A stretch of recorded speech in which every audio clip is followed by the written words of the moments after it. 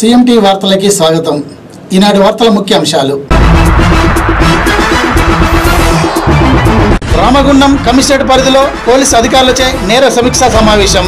అసాంఘిక శక్తులపై ఎప్పటికప్పుడు సమాచారం సమాచారం సేకరించాలి అధికారులకు సూచించిన సిపి విక్రమ్జిత్ దుగ్గల్.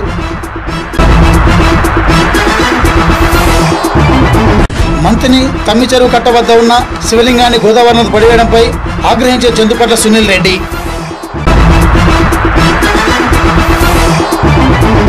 ఎస్ఆర్ఎస్పి నీటితో మంత్రి ప్రాంతంలోని చెరువులు కుంటలు నింపి తాగునీటికి పశువులకు నిరందించాలి టీడీపీ డిమాండ్.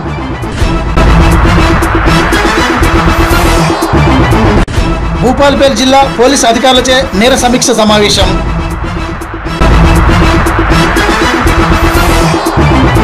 చిట్యాల మండల కేంద్రంలో మక్కల కొను గోల్డ్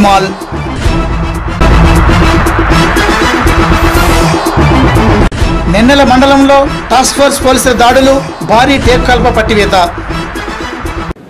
రామగుండం కమిషనరేట్ పరిధిలో పెద్దపల్లి మంచిర్యాల జిల్లాలకు చెందిన పోలీస్ అధికారులతో రామగుండం పోలీస్ కమిషనర్ విక్రమజిత్ దుగల్ బుధవారం ఎన్టీపీసీ మిలినం హాల్లో నేర సమీక్ష సమావేశాన్ని నిర్వహించారు.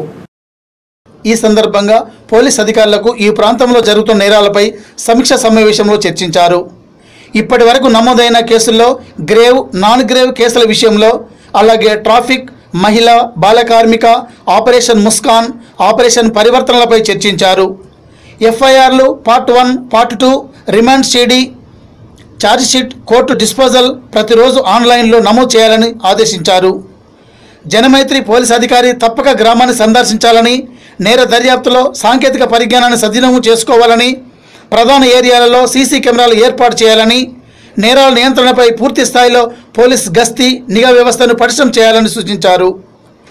కమిషనర్ పరిధిలో పాత నేరస్తులపై నిఘా ఏర్పాటు చేయాలని లాడ్జీలు బస్టాండుల్లో నిఘా ఏర్పాటు చేస్తూ ప్రతి కేసులో స్పందిస్తూ ఫ్రెండ్లీ పోలీసింగ్ విధానంతో ప్రజల్లోకి వెళ్ళాలని అసంఘటిత శక్తులపై సమాచారం తెలుసుకుంటూ శాంతి భద్రతలకు విఘాతం కల్పించే వారిపై రౌడ్ షీట్లు తెరవాలని ఆదేశించారు. కమిషనరేట్ ఆధ్వర్యంలో పెద్దపల్లి మరియు మంచిర్యాల జిల్లా పోలీస్ ఆఫీసర్స్తో క్రైమ్ రివ్యూ మీటింగ్ జరుగుతుంది.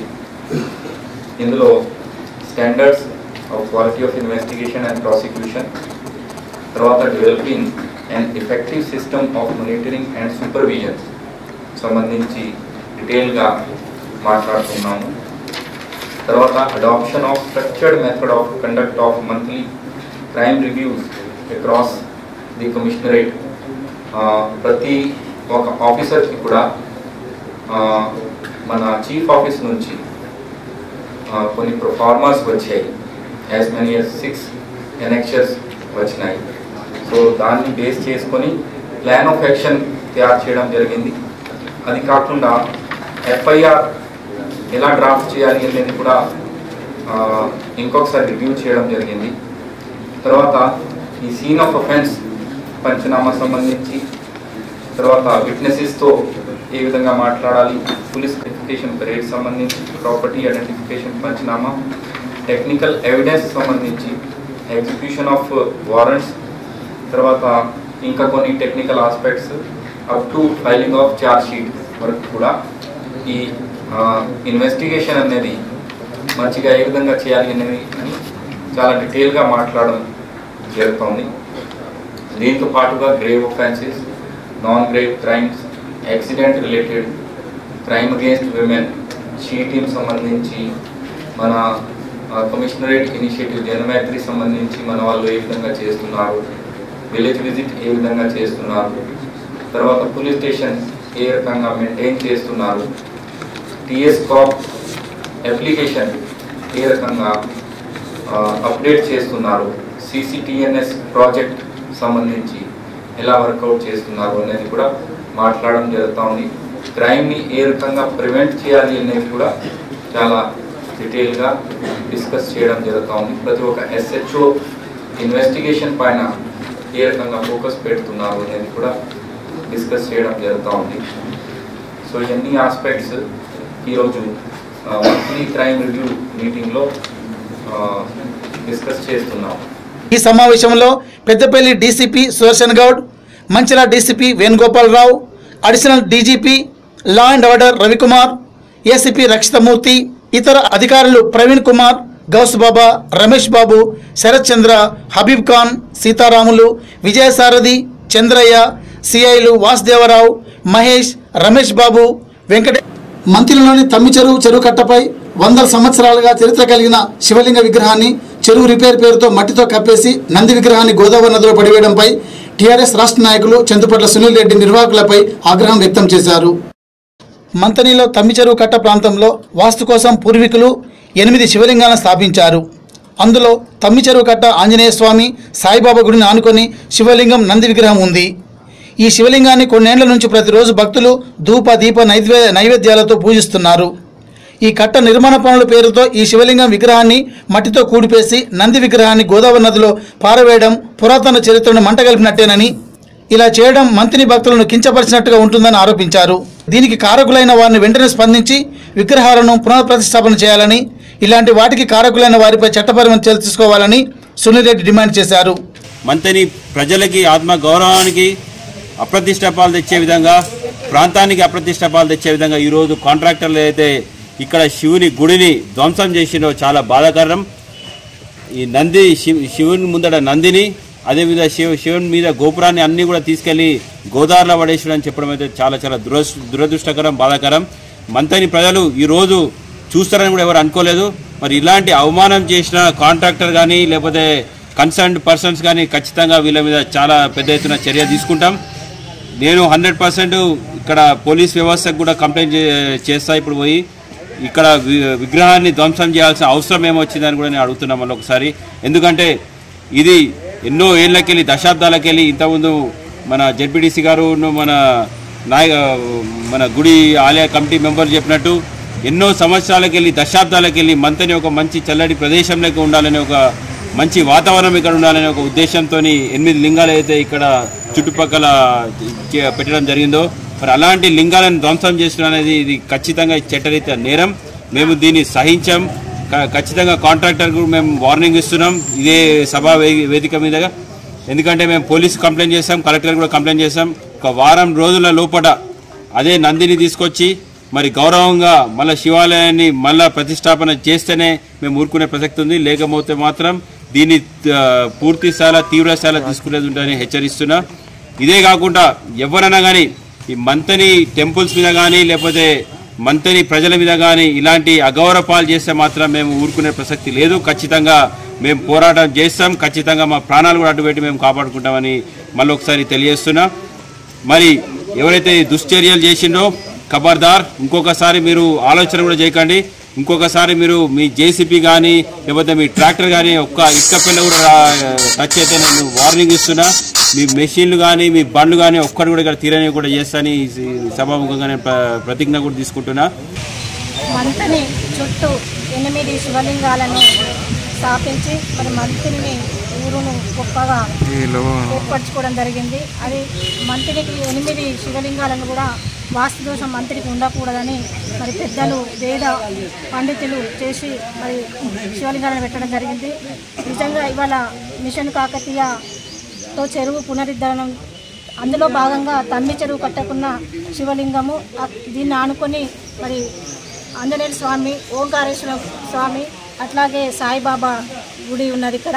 నిజంగా దీనికి ఈ మంతినంతా కూడా పవిత్రంగా భావించి మరి ఒక శివలింగాన్ని కూడా నిత్యం పూజలు దీపధూప నైవేద్యాలు కూడా మరి మంతిని ప్రాంత ప్రజలు భక్తులు అందరూ కూడా నిత్యం చేస్తూ ఉన్నారు. అందులో భాగంగా మంతిని మొత్తం పొద్దున లేచిందంటే శివనామ స్మరణతో మారుమోగేటువంటి మంతినిలో ఇవాళ మిషన్ కాకతీయ చెరువు పునరుద్ధరణ చేయడం చేస్తుండగా ఆ కాంట్రాక్టరు మరి ఆ శివలింగాన్ని రోప్లైన్ బట్టి తీయడం అందులో దాని పక్కకి నంది విగ్రహం ఉండేది. మరి ఆ నంది విగ్రహం ఎక్కడ వేసిందో ఏమో మరి దాని అడ్రస్సే లేదు. నిజంగా ఇవాళ మంత్రిని భక్తులందరూ కూడా చాలా ఆధ్యాత్మికతో చేసినటువంటి భక్తులు బాగా బాధపడుతూ ఉన్నారు. కాబట్టి ఏ విధంగానైతే శివలింగము నంది విగ్రహం ఉన్నదో మళ్ళీ అట్లనే ఒక వారం రోజులలో కాంట్రాక్టర్లు దానికి సంబంధించిన అధికారులు మరి దాని వెనుకాల ఉండి ప్రోత్సహించిన వాళ్ళందరూ కూడా మరొక సమావేశం ఏర్పాటు చేసుకొని మళ్ళీ యథావిధి స్థాయి స్థాయిలో మరి మంత్రం చేసి మరి ఆ విగ్రహాలను పెట్టాలని ఈ సందర్భంగా ఈ ముఖంగా కోరుకుంటున్నా. ఈ కార్యక్రమంలో మంతని జడిపిటిసి మూల సరోజన ముస్క ఈశ్వరమ్మ ముస్కుల వెంకటరెడ్డి సురేందర్ రెడ్డి రహీం విజయ్ సతీష్ రాజు దిలీప్ పవన్ మరియు బ్రాహ్మణులు తదితరులు పాల్గొన్నారు. ఎస్ఆర్ఎస్పి నీరుతో మంతిని ప్రాంతంలో ఉన్న పశువులకు గ్రామంలో తాగడానికి ప్రజలకు నీరు అందించడానికి చెరువులు కుంటలు నీటితో నింపి ప్రాణాలు కాపాడాలని తెలుగుదేశం పార్టీ డిమాండ్ చేస్తుంది. తాగునీటి సమస్యను వేసవి కాలంలో తీర్చడానికి తగు చర్యలు వెంటనే తీసుకోవాలని ఐకేపీ సెంటర్లో బా వరిధాన్యాన్ని కొనుగోలు చేయాలని అధికారులకు సూచించాలని పెద్దపల్లి జిల్లా టీడీపీ అధ్యక్షులు అక్కపాక తిరుపతి అన్నారు.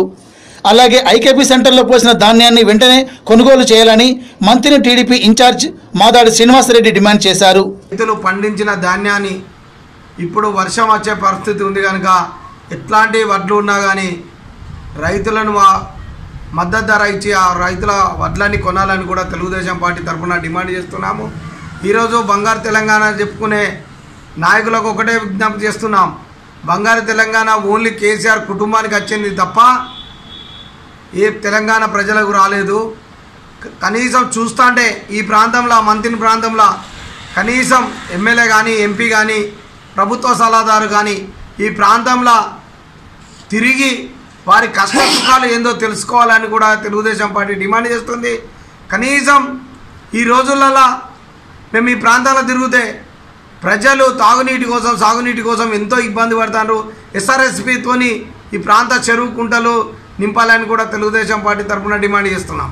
ఐకేపీ సెంటర్లలో వచ్చిన ధాన్యాన్ని ఎటువంటి నిబంధన లేకుండా వెంట వెంటనే కొనాలి. ఎందుకంటే వడగల వానలతో పడి రైతాంగం రైతులు నష్టపోయే పరిస్థితి ఉన్నది. ఇదివరకు తడిచిన ధాన్యాన్ని కొనక రైతులు చాలా ఇబ్బందులు పడ్డారు. ఇప్పుడు వెంటనే ఆ ధాన్యాన్ని కొనుగోలు చేయాలి. ముఖ్యంగా ఎస్ఆర్ఎస్పి వాటర్తో ఈ మంతిని ప్రాంతంలోని చెరువులు కుంటలు అన్నీ కూడా రైతాంగం కొరకు నింపాలి. మరి పశువులకు తాగడానికి నీళ్ళు లేదు. ఎక్కడ కూడా ప్రజలకు కూడా తాగునీటికి చాలా ఇబ్బంది పడుతున్నారు కాబట్టి చెరువులు గుంటలు నింపాలి. అన్ని గ్రామాలలో కూడా తాగునీరు నిరంతరంగా సప్లై చేయాలని మా పార్టీ డిమాండ్ చేస్తాం ఈ కార్యక్రమంలో జిల్లా టీడీపీ ప్రధాన కార్యదర్శి నల్లివెల్లి శంకర్ మంతని మండల పార్టీ అధ్యక్షులు ఆకుల రాజబాబు మంతిని పట్టణ అధ్యక్షులు ఐటిపాముల సదానందం బొడ్డుపల్లి రమేష్ బోదెలు తదితరులు పాల్గొన్నారు.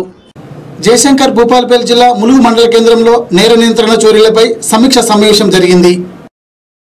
జయశంకర్ భూపాలపల్లి జిల్లా పరిధిలోని పోలీస్ అధికారులతో నేర సమీక్ష సమావేశం జరిగిన అనంతరం నేర నియంత్రణ చోరీల గురించి వ్యాపార యాజమానులను నిఘా కెమెరాలపై అవగాహన కల్పించారు. ఈ సమావేశం యొక్క ముఖ్య ఉద్దేశం ఏంటంటే మీ అందరికీ తెలుసు సీసీటీవీల ప్రాముఖ్యత అనేది మధ్యన ఏ విధంగా ఉన్నది? ఎక్కడికి పోయినా కూడా సీసీటీవీలు మనం ఒక చిన్న మేడం కానీ లేకపోతే ఏదైనా ఒక చిన్న గొడవ కానీ ఏదైనా ఏదైనా జరిగితే అక్కడ సీసీటీవీ ఉందా అనేది ఫస్ట్ క్వశ్చన్ మనం అదే అడుగుతాం. జనరల్గా మా పోలీస్ దగ్గరికి ఏదైనా కంప్లైంట్ వచ్చినా కూడా సార్ వీడు నన్ను మా షాప్లోకి వచ్చి కొట్టిండు లేకపోతే మా షాప్లో దొంగతనం చేసుకొని పోతున్నాడు అంటే ఏదైనా సీసీటీవీ కెమెరా ఉందా అనేది క్వశ్చన్ ఖచ్చితంగా అది ఉత్పన్నం అవుతున్నది. అంటే దాని ప్రాముఖ్యత అనేది ఏ విధంగా ఉన్నది మీరు అర్థం చేసుకోవాలి. ఇప్పుడు ఒక సీసీటీవీ ఉంటే ఒక వంద మంది పోలీసుతోన సమానం.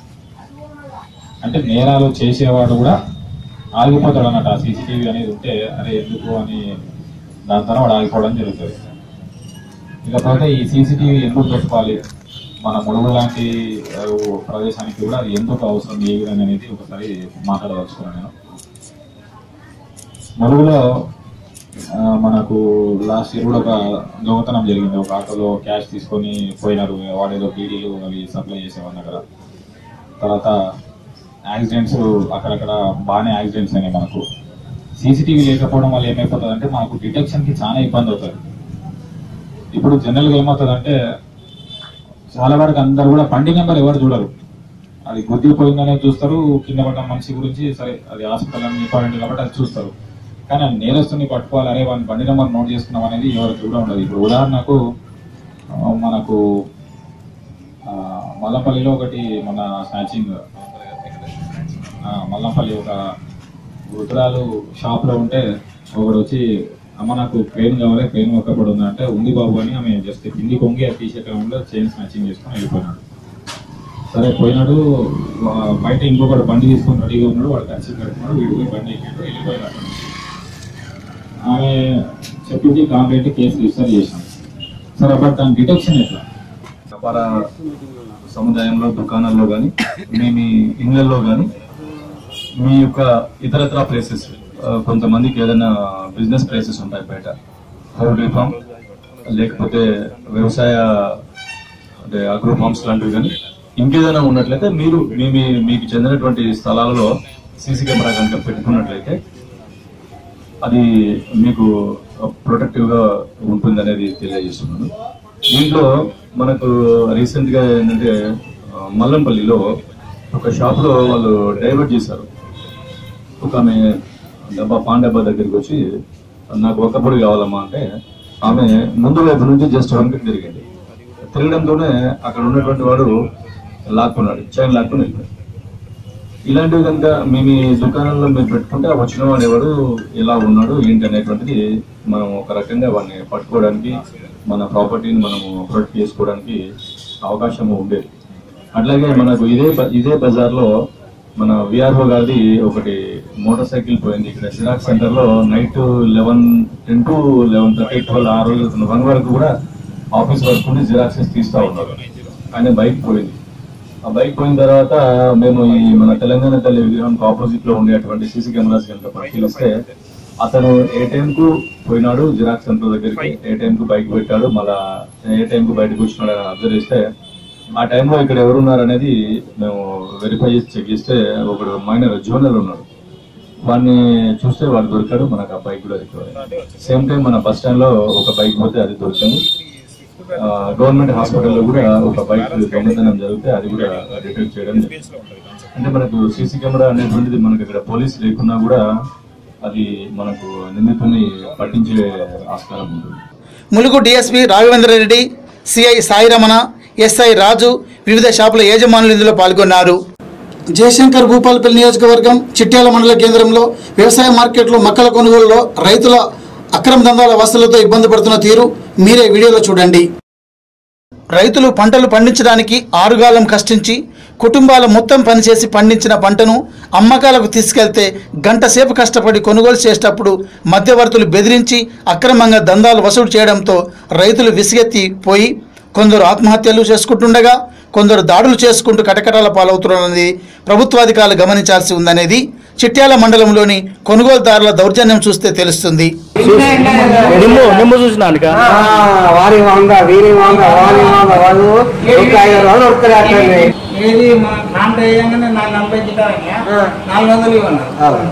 నాలుగు వందలు ఇచ్చిన దేనికన్నా? దేనికని అన్న? అట్లనే అట్లనే ఇయ్యాలా నేను అన్న మరి ఇదంతా ఏంది కదా? అంటే నువ్వు తర్వాత కాదు చెప్తాను తర్వాత కాదు మళ్ళీ తర్వాత ఎందుకు కలుసుడు మళ్ళీ తర్వాత? వేరే మాట్లాడతాను ఆ, నేను ఇద్దరు కావచ్చు. నాలుగు వందలు నేను మాట్లాడతాను. అంటే నువ్వు మార్కెట్ డైరెక్ట్ చేసిన పైసా ముందు? కిలో ముప్పై రూపాయలు అది సరిపోవాలి. కిలో ముప్పై నాకు యాభై ఐదు. నాలుగు వందలు. అంటే ఈ వీటితోని మక్కలు నలభై కింటాలు అంటే ఒక ఖర్చు నాలుగు వందలు అవుతాయా? ఒక క్వింటాల్.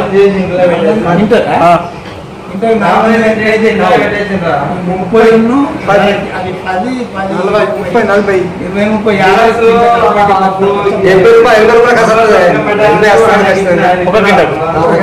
ఎనభై రూపాయలు ఖర్చు. అంటే వాళ్ళ మామూలా? మామూలు అంత ఎనభై రూపాయలు. ఇంకా ఏమనుకోలేదు. అగ్రికల్చర్ కూడా ఏమనుకోలేదు. మరి వాళ్ళు తిరుగుడు అయితే లేదా మీకు? ఇలా పదివారు ఉండరు వాళ్ళు ఉండరు. అగ్రికల్చర్ మాత్రం కంటిన్యూగా ఉంటారు. లేకున్నా ఇన్ఛార్జ్ మరి మరి రైతులు అన్నట్టు మరి అది సెల్ నెంబర్ ఉంటుంది సీఎంకో ఎమ్మెల్యేకో ఫోన్ చేసి చెప్పకపోయి ఇట్లా సీఎంకు ఎమ్మెల్యే ఫోన్ చేసినాక ఇరవై టెన్నుల కుప్ప పోసి లారెత్తుంది అమ్మారోడు వస్తాడు వాడు అడుగుందో ఏముందో అమ్మారోడు పోయినా వానుకో వందాట. ఏదైనా పోతే వానుకో వందా. గంప ఎత్తుతాడు చూడు. కిట- పది రూపాయలు ఒక్క రూపాయి తప్పితే తీసుకుంటుంది అది. ఆఖరికి ఒక్క పది మళ్ళీ వచ్చినప్పుడు ఇస్తుంది అని వచ్చినాక అవి ఎండ మక్కలు కుప్ప పోయి ఆడి తిరిగి తిరిగి ఇక గావరే గావరే అయిపోతే ఏం చేస్తామండి? ఏం జరుగుతుంది? మార్కెట్లో? మాట్లాడతా ఎవరు వీనికి వంద వానికి వంద ఇచ్చుడు? ఎవరికి ఎవరికి వందద్దా గేట్ కార్మికులకి వానికని ఇబ్బంది ఇవ్వకి పడవారి కానీ తిరుగుడు ఇన్ని రోజులు కానీ ఎంత ఇబ్బంది పోతాడు మక్కలు వద్దు వద్దు పో వద్దు పో. వాడు ఎనికి సినిమా వచ్చేందుకు కరెక్ట్ చూస్తాడు. ఆడ? నాది ఇక్కడ పేట కూడా పోసి నాది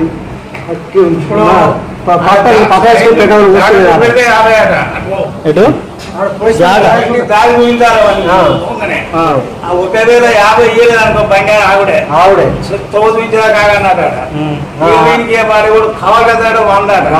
వాడికి వందితే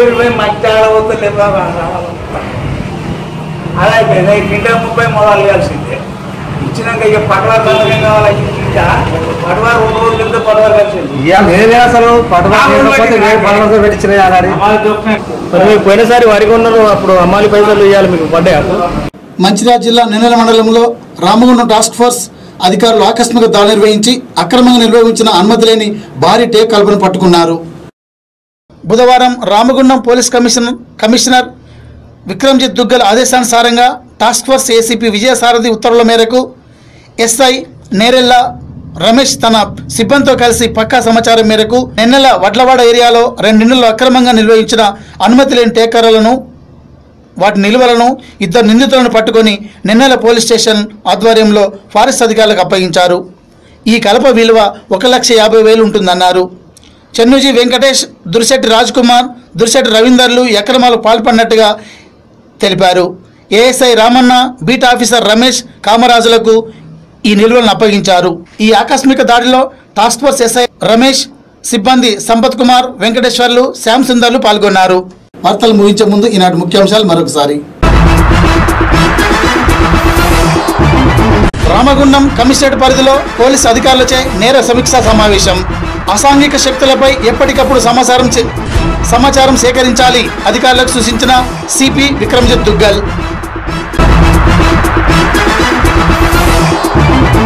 మంత్రిని తమ్మి చెరువు కట్ట వద్ద ఉన్న శివలింగాన్ని గోదావరి నది పడివేయడంపై ఆగ్రహించే చందుపట్ల సునీల్ రెడ్డి.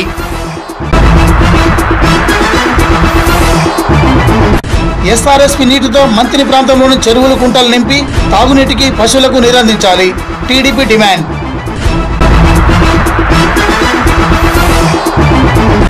భూపాల్పేట్ జిల్లా పోలీస్ అధికారులచే నేర సమీక్ష సమావేశం.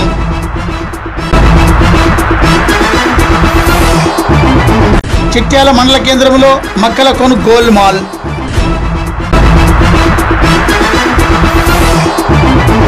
నిన్నెల మండలంలో టాస్క్ ఫోర్స్ పోలీసుల దాడులు భారీ టేప్ కల్ప పట్టివేత. ఈ వార్తలు ఇంతటితో సమాప్తం. మరిన్ని ముఖ్యాంశాలతో మళ్ళీ కలుసుకుందాం. అంత వరుసలో పార్టీలో ఉన్నప్పుడు